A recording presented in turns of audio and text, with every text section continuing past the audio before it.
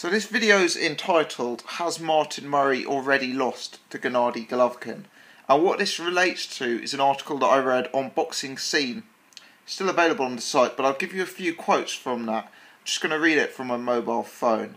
Uh, I don't see any weaknesses in Golovkin, to be honest. With Martinez and Sturm, they had both been beaten, so we were able to see chinks in their armour and study them before I fought them. With Golovkin, he has never been beaten or knocked down, and he has not shown any chinks in his armour just yet. He's younger and fresher than Sturm and Martinez were when I fought them as well.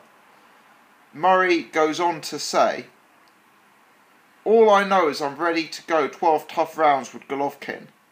It's about finishing the fight with no regrets, knowing I've trained harder over 12 weeks than I have and felt fitter than I ever have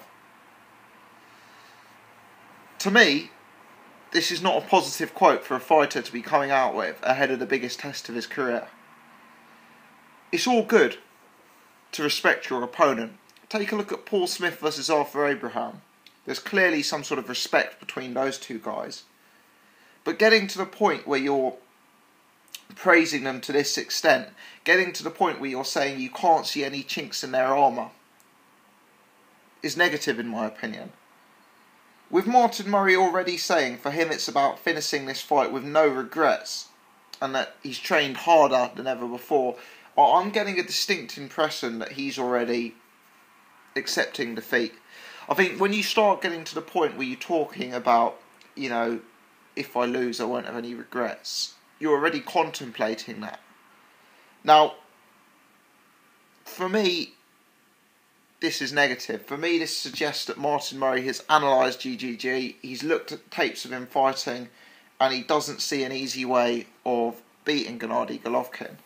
Uh, to say there's no chinks in his armour, I think that's an overstatement. I mean, Golovkin's good, but he's not that good. If you look at the uh, the Adama fight, if you look at maybe uh, the Daniel Geale fight where he famously left himself open and caught that punch before the knockout, you know, Golovkin has done really, really well. I'm not saying he hasn't. But say there are no chinks in his armour, I think is overstating it. And I am slightly worried that Martin Murray is going into this fight with a losing mentality. Now, as I've already predict, predicted in my channel, I do think Golovkin could potentially be beatable, but not by Martin Murray.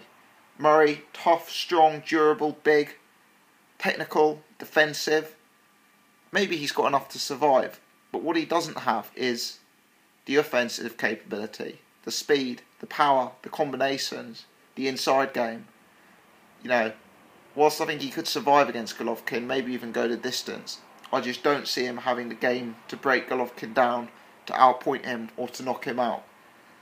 Maybe Martin Murray realises that, you know, styles make fights, as you say, and uh, he doesn't have the style, perhaps, to beat GGG at this stage. But either way, for me, it's a negative coming out with a statement like that before the fight.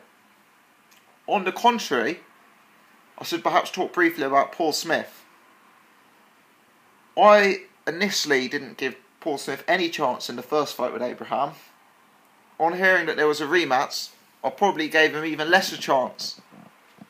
But he's a guy who's talking me into actually believing that he can win you know, Paul Smith I don't view as a big puncher, and Arthur Abraham's got a, you know, real fantastic chin. But I almost found myself believing that Paul Smith was going to knock Arthur Abraham out listening to him the other day. This is a guy who's fully determined. This is a guy absolutely ready for war. And this is a guy who genuinely seems to believe that he is going to win and that this is destiny to get that belt off Abraham. I think going into the biggest fight of both of these guys' lives, I'd much rather be carrying in the statements and the confidence that Paul Smith is outwardly projecting than being in Martin Murray's situation. Certainly not a criticism of Murray. I hope he does the job. But I viewed both Paul Smith and Martin Murray as having very limited chances against their opposition. And now, having watched the build up to the fight, I'm starting to think Paul Smith could be competitive. Martin Murray, less so. Let me know your thoughts. Thanks for watching.